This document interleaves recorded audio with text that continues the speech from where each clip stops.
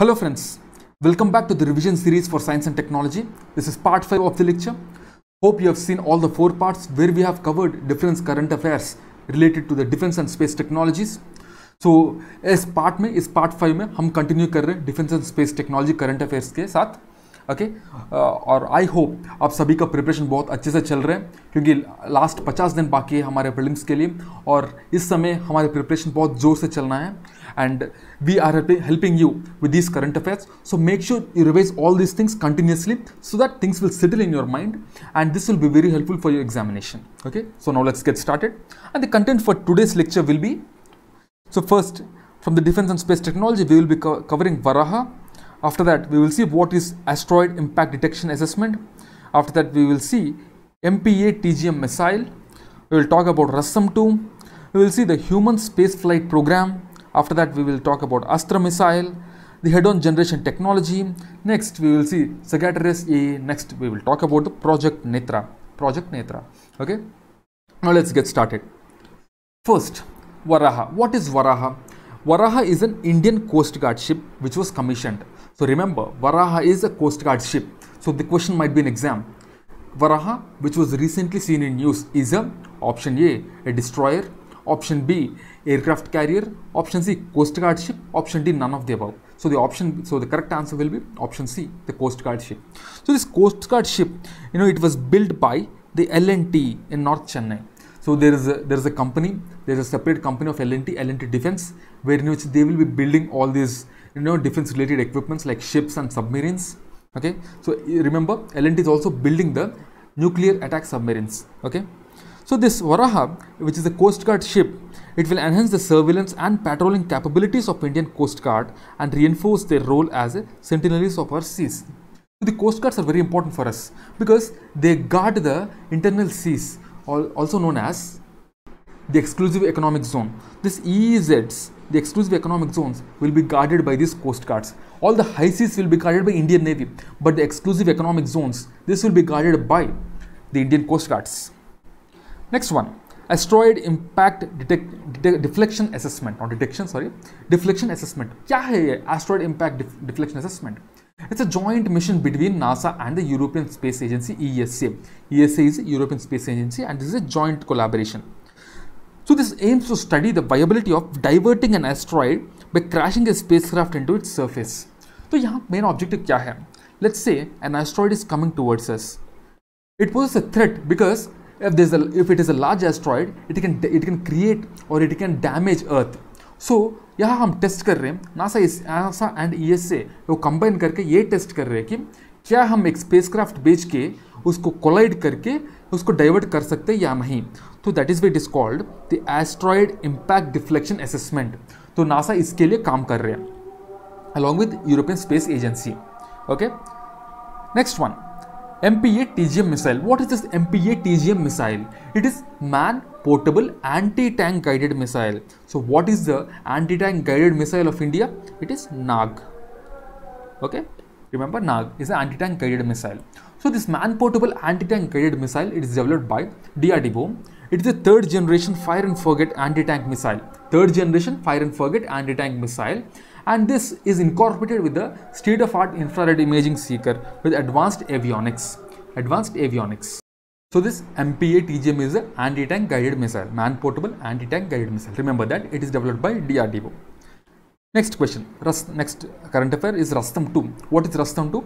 It is a UAV, unmanned aerial vehicle, UAV. So it is a medium altitude, long endurance. So MALE, MALE 2 it is called. So this Rustam 2 is a drone of India developed by DRDO. Okay, it is an unmanned aerial vehicle developed by DRDO, and its objective is to carry out surveillance for the armed forces with an endurance of 24 hours. That means up to 24 hours it can remain in the space. Okay, so Rustam 2 is a drone developed by DRDO, the Defense Research and Development Organization. Next is the excuse me human spaceflight program.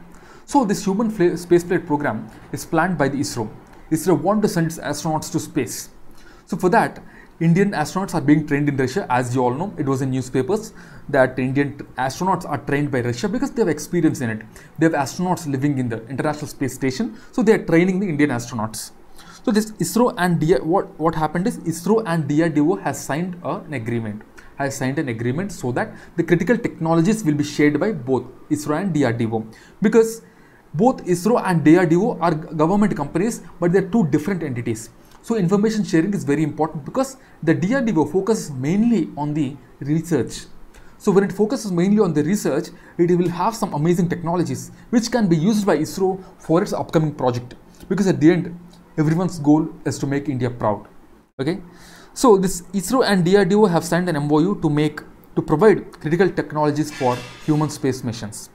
It was under the agreement that the space technologies, you know, these capabilities existing in DRDO labs for defense applications will be customized to meet the requirements of ISRO space mission. Okay. The DRDO will be providing all the critical technologies to ISRO such as space crew health monitoring and the emergency survival kit. All these things will be provided by the DRDO. As I told, DRDO is a research organization and it already has some amazing technologies with it. Okay, so regarding you know all the parachutes for the safety recovery of the astronauts and all, ISRO and DRDO have signed an MOU. So this is important here. Next one, the Astra missile. What is the Astra missile? It is an indigenously developed beyond visual range air to air, air to air missile Astra air-to-air missile Astra.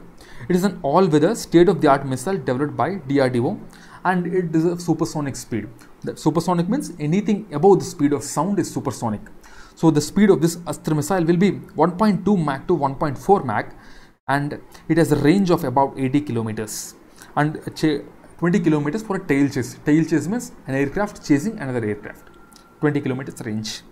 It can reach up to 110 kilometers when fired from proper altitude okay of 15 kilometers it can reach a maximum range of 110 kilometers okay? So this is about the astra missile remember? Astra is a beyond visual range air to air missile. This is the important thing what we have to remember. It is developed by drdo defense research and development organization. Next head-on generation technology. So this head-on generation technology is going to be implemented by the indian railways. What is this head-on generation technology. So when we travel in trains, we will be getting air conditioning, we will be getting light, we will be getting fan from where the train gets all the power.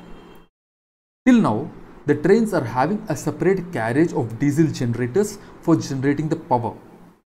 Till now, the trains are having separate carriages for generating power for air conditioning, fans and the lights. Because of this, what is happening? The Indian Railways is facing huge losses. So now what Indian Railways has done is, it is it has it is going to implement this head-on generation technology, wherein which the electricity which it consumes in order to run the engine also will be used for lighting up the train and the other power supply to the different aspects of train like the air conditioning, like the fans, lights and all, and even the pantry. The electricity which is you know taken from the, the wires which is above the train. So that electricity will be used in order to light up the train. Okay, that is why this was in news. So the railway minister talked about upgrading of all the trains.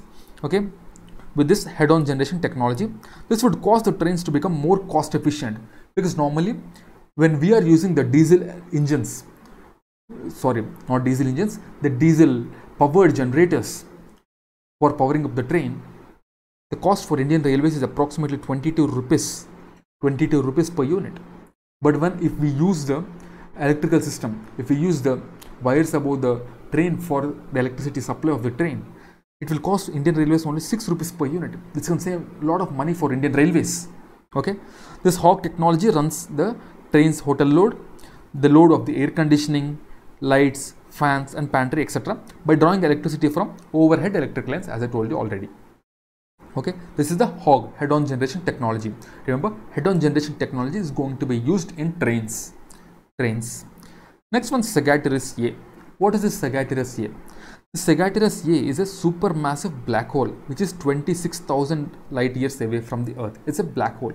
If someone asks what is sagittarius a it is a supermassive black hole. It is near the galactic center or the center of milky way galaxy. That is why this is important. The center of Milky Way galaxy. You know, even the solar system what we are living is part of the Milky Way galaxy.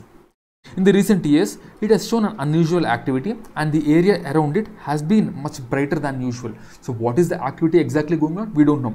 But we have observed that some unusual activity is going on around that black hole, which is Sagittarius A. Okay. Next is Project Netra, the last one for the day. Project Netra. What is this Project Netra?